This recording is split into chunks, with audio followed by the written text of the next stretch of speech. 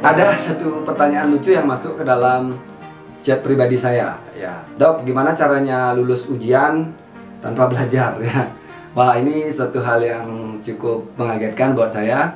Jadi kalau anda bisa lulus tanpa belajar mungkin maksudnya adalah anda mendapat berkat anda mendapat suatu bless gitu ya suatu uh, apa anugerah begitu tiba-tiba anda bisa menjawab ujian dan kemudian lulus ya jadi saya sangat mendoakan kalau anda berharap itu saya mendoakan anda lulus ya nah kenapa ya karena kalau kita simak nih, kenapa kita harus lulus ujian? Ya, mungkin beberapa orang berpikir kalau sekolah ataupun hidup ini adalah untuk lulus ujian.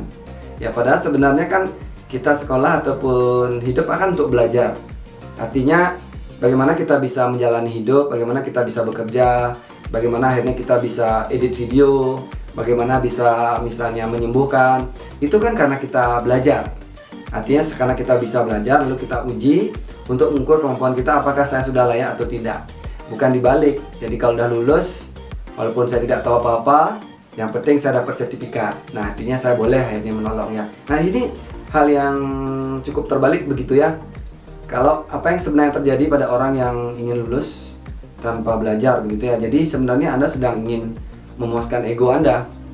Jadi pada saat Anda dapat sertifikat, Anda dapat suatu pengakuan atau penghargaan, ego Anda merasa berharga begitu, tetapi Anda tidak mendapatkan kemampuan yang sebenarnya.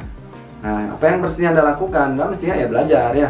Karena kalau Anda belajar, Anda meningkatkan kemampuan intelektual, meningkatkan kompetensi Anda, sehingga pada saatnya nanti ilmu yang Anda miliki itu benar-benar Anda bisa pakai. Ya, ujian tuh hanya sebenarnya hanya sekedar ukuran apakah saya sudah layak atau tidak.